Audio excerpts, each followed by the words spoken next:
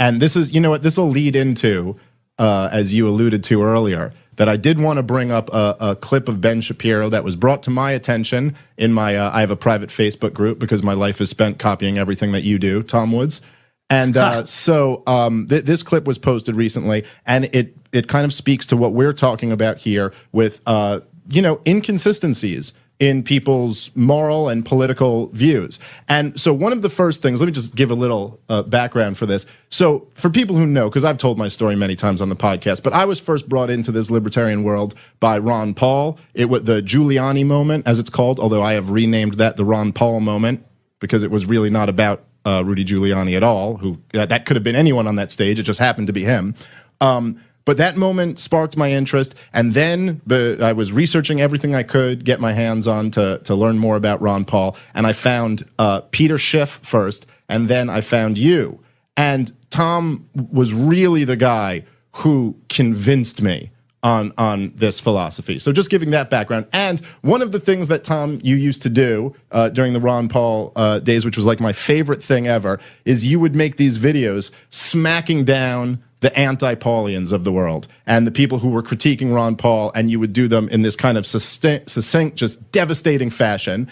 And so, as I have you on the show, and someone brought this clip to my attention, I thought, how much fun would it be to do one of them right here on part of the problem? And just so you know, I have not heard this clip. I haven't seen it, so I don't know what's going to hit me here. Okay. All right. So you're going in fresh. I have seen the clip, full disclosure. So this was uh, Ben Shapiro goes around speaking at a lot of different uh, uh, colleges, and he, he usually will give a little bit of a speech and then take a question and answer segment. I, I will preface this by saying Ben Shapiro is a guy that I, I, have a lot of respect for. I think I'd probably agree with uh, large areas of, of his views, and he does a phenomenally good job at smacking down uh, campus leftist nonsense, which you know Tom uh, uh, does a great job at that as well. Um, but here are the parts. See if you can notice the uh, the inconsistencies. So here's Ben Shapiro taking a question from a student. Hello, Ben. My name is Joe. Um, I'm holding my phone because I'm recording for my dad. He's a big fan, so he says hi. Oh, tell him I say hi. yeah. Um, hey, Dad. How's it going?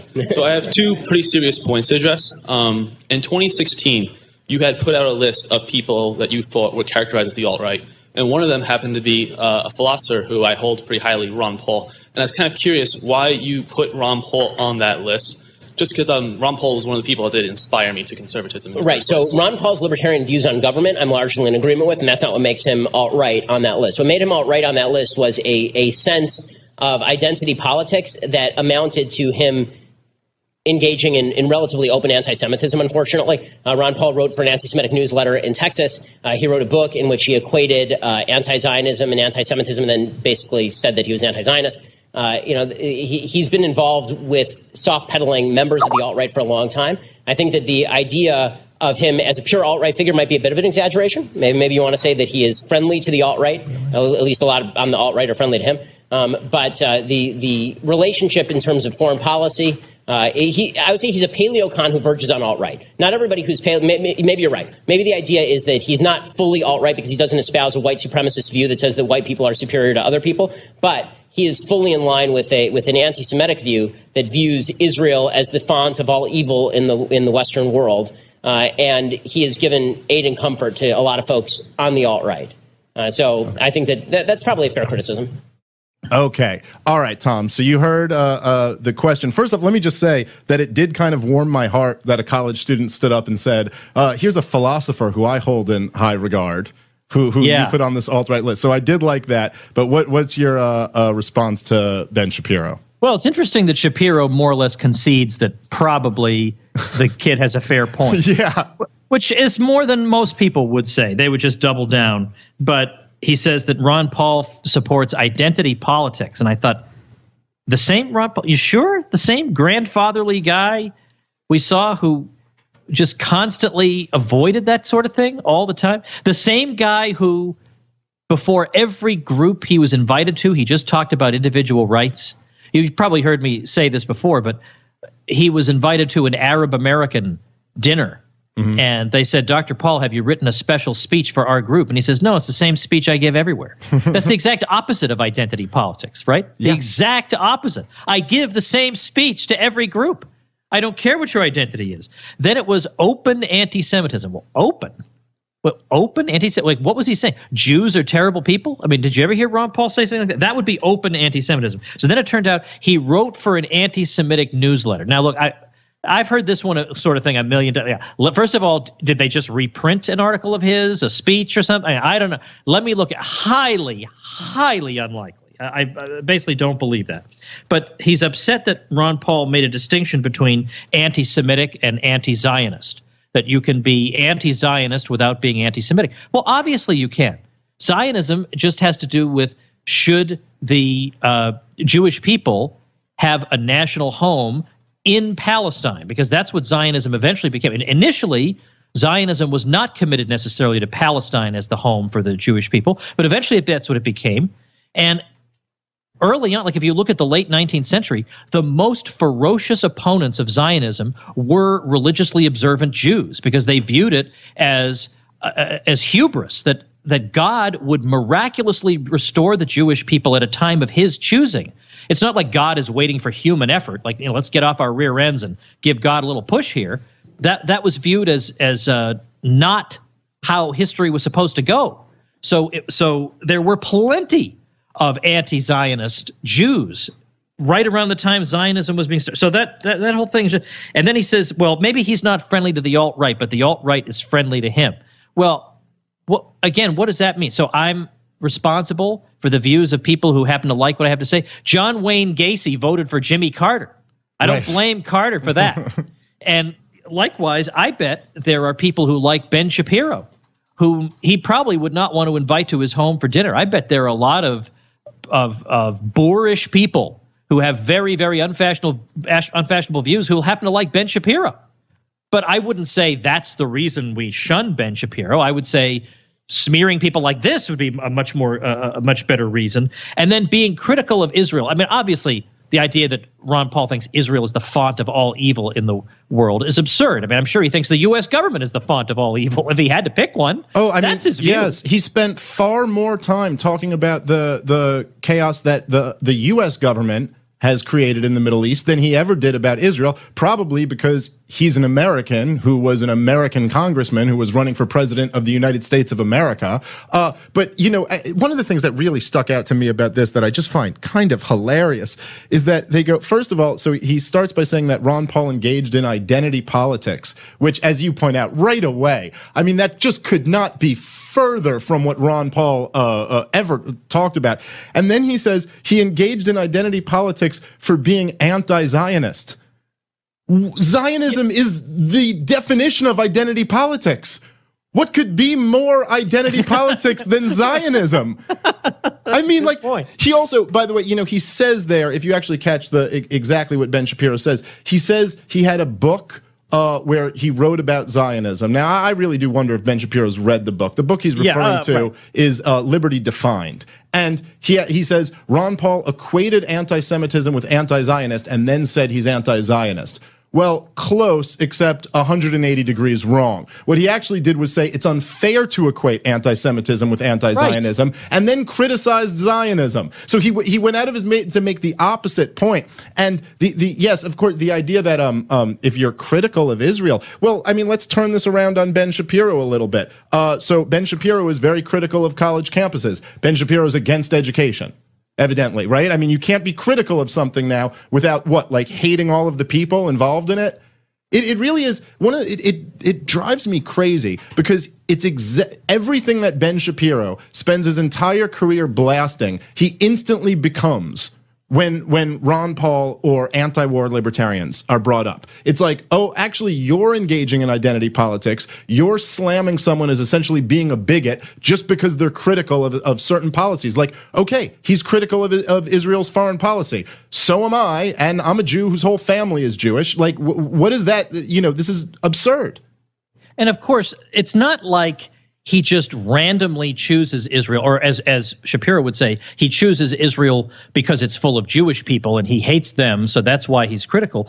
There, there's something about the relationship between Israel and the United States that does not exist between a lot of other countries. Like we don't have the United States Senate voting 99 to 1 or 100 to 0 in favor of resolutions favoring particular countries that everybody else in the world is voting 100 to 0 against there's there is nothing that compares with the american relationship with israel. And the point is that in having that relationship the united states risks alienating uh, public opinion in a lot of countries in the middle east. Now people will say oh those countries aren't going to like you anyway. But that's actually not true and we can prove that uh, in the years after world war one if you were to go to uh, Syria, as, they, as the King Crane Commission did, and say, which country would you like to govern you as a League of Nations mandate?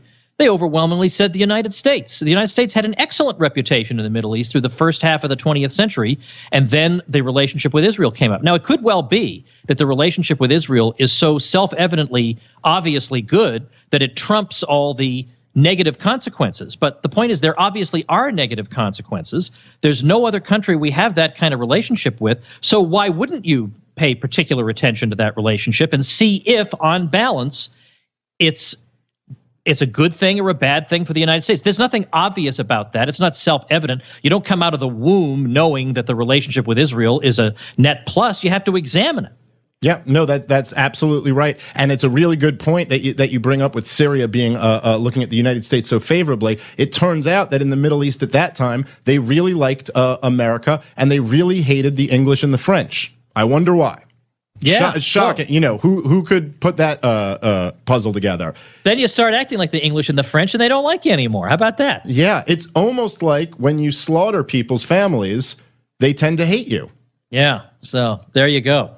It's it's just so infuriating because this is a guy who all he deals with all day long is people calling him a Nazi because he'll say like you know whatever like he's against welfare so now they say he's a racist. And he just engages in the exact same thing. He falls right to their level once uh, uh, you know he's challenged. And yes I, I do acknowledge what you said. You can clearly see which is very rare but you see Ben Shapiro backpedaling a little bit and saying like well maybe he's not like you know, completely open about his anti-Semitism. Look, man, Ron Paul. I, I, so I'll just share a, a story just briefly. So the, when I met Ron Paul in, uh, and I was on the Ron Paul Liberty Report, um, and so me and Ron Paul and uh, and Daniel McAdams, we we talked in his office for about a half hour. Then we went out and we filmed the episode, and then we came back and we spoke in his office for like another hour.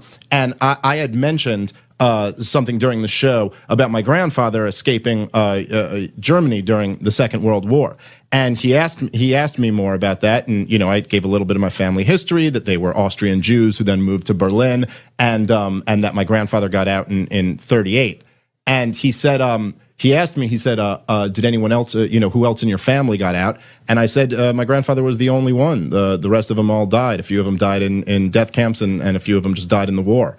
And uh, and Ron Paul, I'll never forget this moment. It, it's such a sincere moment. Ron Paul just put his head down in his hand, sitting at his desk, and he goes, "What a tragedy!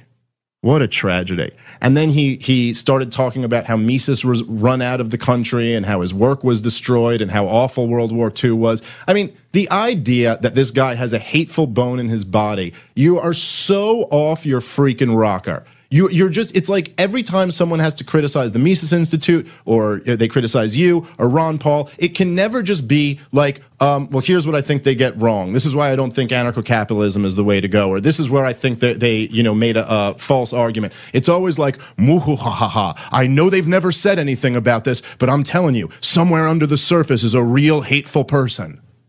And it's so stupid. It's always something like, yeah, and he was in the bathroom and at the stall next to him was some guy who asked him a question. It's stupid. Well, show me something I've done. I mean, just give me. But you know, and there was a time in my life where I used to chase after these people and say, "Hey, I'm not such and such that you're accusing me of." But you know, at some point, you got to just reclaim your dignity and say, "Look, anybody who's seeking the truth will immediately, as soon as they get, they see your persona." And they listen to you a little bit. They immediately know this is the typical made up hysteria that we see 24 hours a day. They'll just know it. And if they don't see that, then I, I just don't care. I mean, I really, I, am not going to try to persuade somebody like that. There's so, there's so many regular, normal, rational people that I can go after. I want to go after the low hanging fruit. Yeah, no, look, I, I agree with you on that, and it's just it's it's completely unfair and and just so beneath a guy who who is as smart as Ben Shapiro to say, which essentially is is what his position is, is that we can talk about all these issues. We we can talk about the most provocative, the most you know like like uh, inflammatory issues, and and God bless him for all that. I I admire the fact that he's got uh, the the stones to go in and say, hey, you know what? Uh, instead of just bitching about systematic racism, how about this? How about don't have kids out of wedlock, don't do drugs, and graduate high school, and then there's like an 80% chance you won't end up in poverty. How about that? I can say this this harsh truth, which is wildly politically incorrect to say, okay, I'm all for that. However, we're not allowed to criticize the wars or the Fed because then, of course, you're an anti Semite.